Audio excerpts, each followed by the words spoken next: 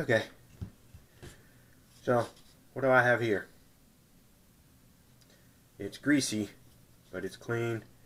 It is a Canik TP9SA.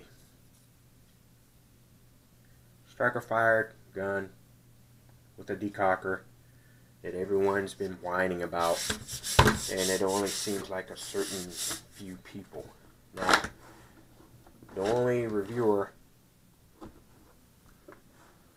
that's bitching about this, the only popular reviewer, um, that's not Sootch Double Zero, it's not Nutnfancy, it's not James Yeager, um, it's not Iraq uh, veteran. It's just Yankee Marshall and his uh, entourage. But I'm gonna move the camera here so you can probably see better. I'm gonna put it right in front of my chest and hold the gun in front of, front of so, it. So I have two of these. This one has maybe a hundred rounds through it. Um, this one is brand new, maybe a week and a half, two weeks old. They're the same gun, just different coloring, FDE um, and black. Um, so what I want to talk about today is, you know, I've done reviews on this gun. Um, take the magazine out. It's clear.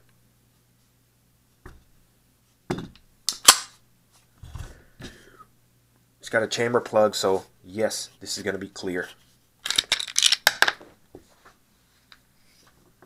No mag. It's clear. Okay, so what I wanted to talk about um, is this the, these rants that are going on on on YouTube regarding this gun uh, having a decocker and being single action striker fire gun. so this gun is charged. The striking indicator showing that the striker is enabled. I want to show you how this can be. So, one of the myths of this decocker is that is that it only activates when pressed directly in the middle. That's not true. If you see here, it's got texturing on this side and on this side and in the middle. I guess it's supposed to mimic the, the actual radius here uh, or this, this texture going along the top of the uh, slide. But you just saw I, I press it on the side, it decocks. I press it in the middle, it decocks. Now, it won't decock like uh, at uh, like, like a uh, an indirect angle on the side. It did that time because I used majority of my thumb pad. So it's not gonna it's got to be directly pressed pretty much. And on top of that it that's a takes a certain effort to decock this. It's not loose by any means.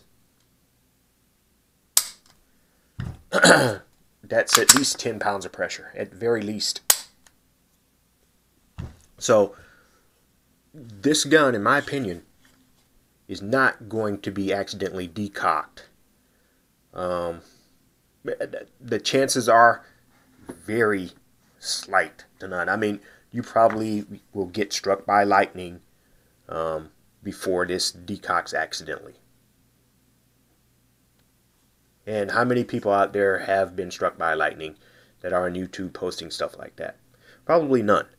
Um, also, as well, before I believe everything I read on the internet about this gun and its decocker, I will certainly want to see a real world use case that proves that this decocker on a single action striker fire gun is bad.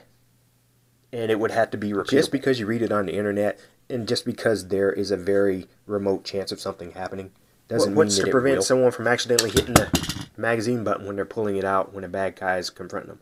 Nothing. Nothing whatsoever. training is going to keep you from pressing the wrong things. You get used to your gun, you realize what state it's in. If you want to carry it cocked, go ahead and carry it cocked. Just make sure you have a, a holster that covers the trigger. And it might be wise to find a holster that covers a decocker as well, if that's what's bugging you about There is also another variant of this gun.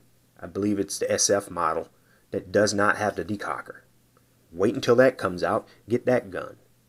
You know what? The thing about guns is there's no one size fits all. everyone is taking their opinions and applying it to the internet at large. Just because you don't like the fact that there's a decocker on this gun doesn't mean that it's not useful as a defense. If you're carrying a weapon. Glock, you can carry if you're gun. doing things that might enable the decocker, maybe you should stop doing those things. If you're mud wrestling or if you're kind of just shooting this shit and and your buddies are you know you're you're you're roughhousing and stuff, hey, and and uh, and the decocker engages, maybe stop doing that activity if it's happening a lot. Um, but to be honest, I think that most of the people that are complaining about the decocker have never even touched this gun.